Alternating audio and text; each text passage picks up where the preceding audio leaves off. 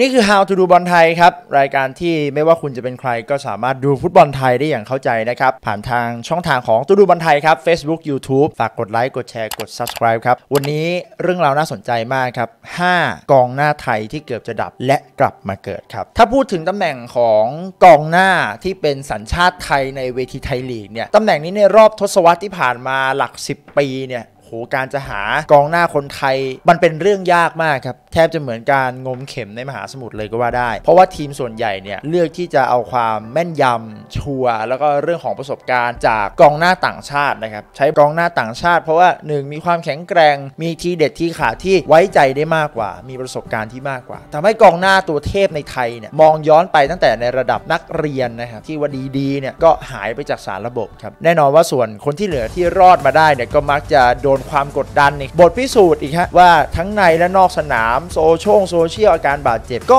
แทบจะไม่เหลืออยู่นะครับในวงการฟุตบอลไทยทุกวันนี้น้อยมาก วันนี้ How to ดูบอลไทยก็อยากจะนำเสนอหน่อยครับ 5 กองหน้าชาวไทยนะครับที่เคยผ่านจุดต่ำสุดของชีวิตครับจนกลับมาเป็นตัวหลักของสโมสรได้ แล้วก็ลุ้นได้ฮะที่จะกลับมาเป็นกองหน้าตัวจริงนะครับในยุคของอากิระนิชิโนะนั่นเองครับไปเริ่มต้นคนแรกครับสิทธิโชคภาโสครับ เจ้ายาเนี่ยแม้จะเป็นนักเตะที่แฟนบอลไทยนี่โอ้โหเคยร้องแบบร้องยี้มาเลยครับจากในอดีต เพราะว่ามีวีรกรรมมากมายหลายอย่างครับทั้งการไม่ดูแลตัวเอง ปล่อยตัวเองให้อ้วน แล้วก็ติดการเที่ยว การเล่นโซเชียลจนมีวลีติดปากของแฟนบอลเยอะแยะมากมายนะครับแต่ครั้งหนึ่งเนี่ยเจ้ายาเนี่ยก็เคยเป็นอดีต wonderkid นะครับของวงการฟุตบอลไทยรวมถึงฟุตบอลโลกเลยนะฮะถึงขนาดที่ว่าสื่ออย่าง The Guardian เนี่ยนะครับสื่อชื่อดังของประเทศอังกฤษเนี่ยจัดให้ยาสิทธิโชคภาโสนะครับอยู่ใน 60 แข้งดาวรุ่งที่น่าจับตามองที่สุด ตั้งแต่ในวัยที่ 17 ปีเท่านั้นนะครับในวันนั้นเนี่ย การติดอันดับ 60 แข้งดาวรุ่งเนี่ยติดร่วมกับจานลุยจิโดนารุม่าครับผู้รักษาประตูของเอซีมิลานในช่วงนั้นนะครับซึ่งในปีที่ผ่านมาในวัย 22 ปีของเจ้ายานะครับก็กลับมาเหมือนเข้าร่องเข้ารอยมากขึ้น แล้วก็กลับมาปรับตัวมากขึ้นนะครับดูแลตัวเองมากขึ้น แล้วก็มีฟอร์มที่ดีกับต้นสังกัดในฤดูกาลที่ผ่านมาอย่างตราด FC นะครับแม้ทางตาดเนี่ยจะไม่ได้ให้เจ้ายาเล่นในตำแหน่งกองหน้าตัวเป้ามากนักนะครับก็ มักจะได้ลงเล่นในตำแหน่งกองกลางตัวรุกบ้าง บางทีก็เป็นหน้าต่ำบ้างนะครับ แต่ความสามารถในการเล่นบอลอย่างเช่นการวางบอลยาวที่ดีหรือการส่งบอลหรือแม้กระทั่งการที่มีทักษะการเอาตัวรอดที่สูงเนี่ยก็เป็นอาวุธชิ้นดีเลยครับ แน่นอนว่าอากิระนิชิโนะก็อาจจะมองเห็นตรงนี้ได้เช่นกันครับ คนที่2ครับเจนรบสัมภาวดีครับกองหน้าสายพเนจรอย่างแท้จริงครับเจ้าของฉายากองหน้าจิตอาสาเนี่ยเจนรบเปรียบเสมือนกระสอบทรายของวงการฟุตบอลไทยได้เลยครับไปไหนก็โดนด่าครับติดทีมชาติก็โดนด่า เรียกได้ว่าแม้จะอายุเพียงตอนนี้ 25 ปีนะครับอาจจะโดนด่า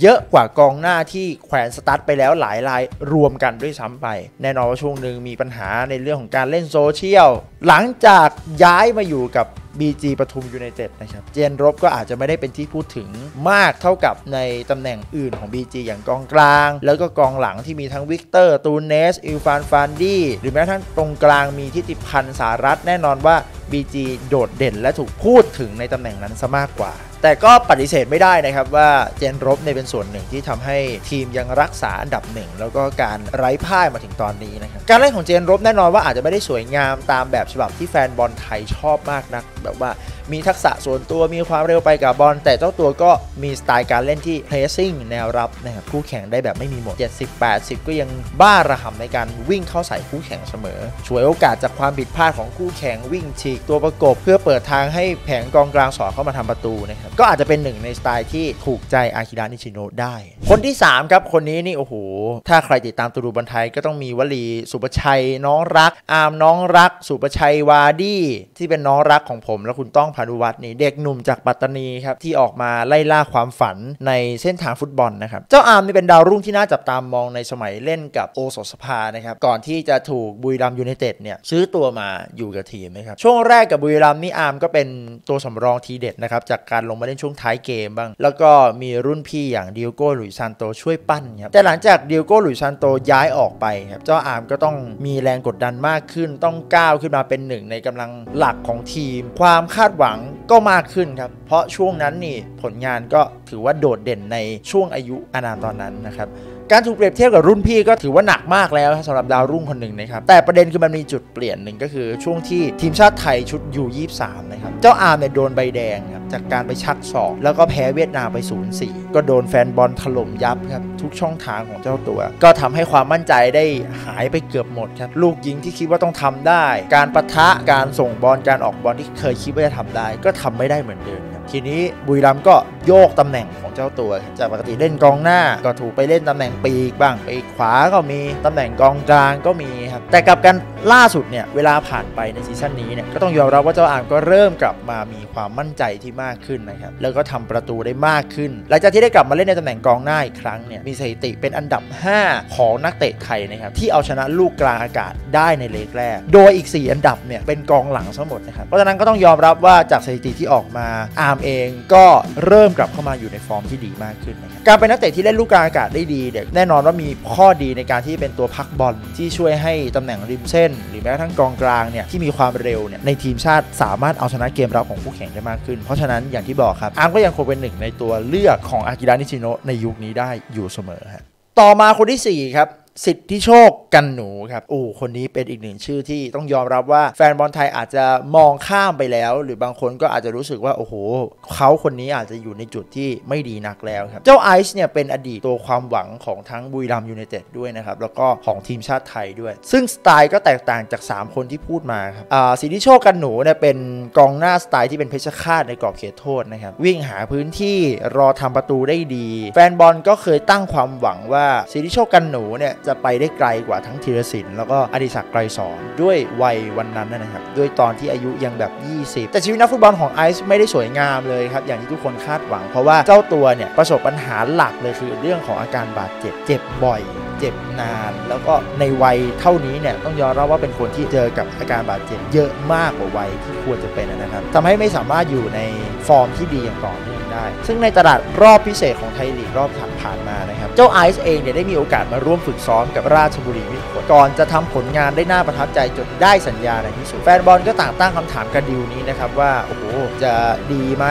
ซึ่งในช่วงแรกเนี่ยกับราชบุรีเนี่ยไอซ์ก็ไม่ค่อยได้รับโอกาสมากนัก แต่เมื่อโอกาสในช่วงหลังเนี่ยมาถึงเจ้าตัวเนี่ยก็ถือว่าทำผลงานได้ดีขึ้นเรื่อยๆนะมีผลงานยิงประตู 2 ลูกกับ1 assist ในเกมที่เปิดบ้านเจอกับสุขโขทัยไป3-1นะครับแล้วก็การกลับมาครั้งนี้เนี่ยถ้าไม่มีเรื่องของอาการบาดเจ็บมารบกวน สามารถเล่นได้ดีอย่างต่อเนื่องจากวันนี้ไป 3-4ฤดูกาลลงอย่างต่อเนื่อง ผมเชื่อว่าสิริโชคกันหนูเองเนี่ยจะเป็นอีกหนึ่งตัวเลือกที่ดีแน่นอนครับ มาถึงคนสุดท้ายครับของกองหน้าที่เคยดับและกลับมาเกิด คนนี้ต้องเป็นหนึ่งในชื่อที่ทุกคนคาดว่าต้องติดแน่นอนนี่คือ AK9 ครับอดิศักดิ์ไกรสอนครับพี่ก๊อฟเองเป็นหนึ่งความหวังของวงการฟุตบอลไทยนะครับไม่ว่าจะอยู่ทีมไหน หรือในนามทีมชาติเนี่ยพี่ก๊อฟก็เป็นตัวหลักอยู่เสมอ ในช่วงระยะเวลาเกือบ 10 ปีที่ผ่านมา แต่ไม่ว่าใครก็ต้องผ่านช่วงเวลาเลวร้ายเสมอครับย้อนไปในปี 2018 เนี่ยแทบจะเป็นปีที่หนักที่สุดของชีวิตของอดิศักดิ์ไกรสอนเลยก็ได้ครับคือการที่ต้องผ่าตัดเอ็นไขว้หน้า จนกว่าจะได้กลับมาเนี่ยก็คือเกือบจะปิดซีซั่นเลยครับไหนจะปัญหานอกสนามที่เข้ามาอีกครับแล้วก็ปิดท้ายปีี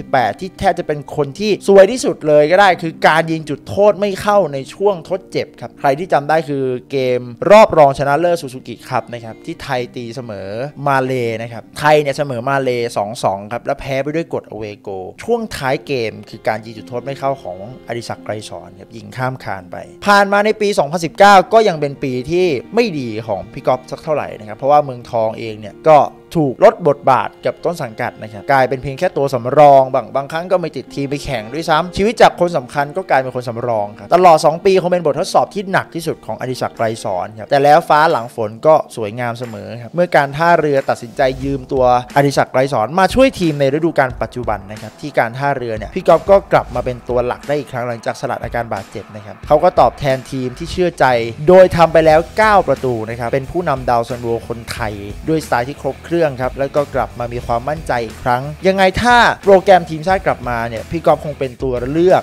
แรก ๆ ของอากิระนิชิโนะอย่างแน่นอนครับสุดท้ายครับแน่นอนว่าบทบาทของชีวิตมักมีบททดสอบอยู่เสมอครับหวังว่าวันนี้คอนเทนต์ How to do บอลไทยเรื่องราวของ 5 กองหน้าไทยที่เคยดับแต่กลับมาเกิด จะไม่ใช่ให้คุณได้ดูเรื่องราวของนักฟุตบอลอย่างเดียวนะครับมันทำสะท้อนให้เห็นการใช้ชีวิตของใครต่อหลายคนที่ติดตามฟุตบอลไทยว่า ในมุมของนักฟุตบอลที่ประสบความสำเร็จหลายต่อหลายคนครับบางคนมองว่าสุปชัย อดิศักดิ์ไรสอนสิทธิโชคพาโส เป็นคนที่ประสบความสำเร็จในชีวิตแล้ว ต่างเคยผ่านช่วงเวลาที่เลวร้ายแล้วเสมอ จะดีจะร้ายกลับมาดี ก็เป็นเหมือนชีวิตเราทั่วไปฮะเราก็ใช้ชีวิตแบบนี้ครับเพราะฉะนั้นหวังว่าจะเป็นกำลังใจให้กับใครหลายคนที่อยู่ในช่วงเวลาที่ย่ำแย่ หวังว่าจะกลับมาเกิดเหมือนกับ 5 กองหน้าไทยที่เราได้เล่าไปใน How to do บอลไทยวันนี้นะครับฝากกดไลค์กดแชร์กด subscribe เพื่อเป็นกำลังใจเลื่อนมาคอมเมนต์พูดคุยกัน และเจอได้ใหม่ในสัปดาห์หน้า วันนี้ผมตูเต้ลาไปก่อนครับ สวัสดีครับ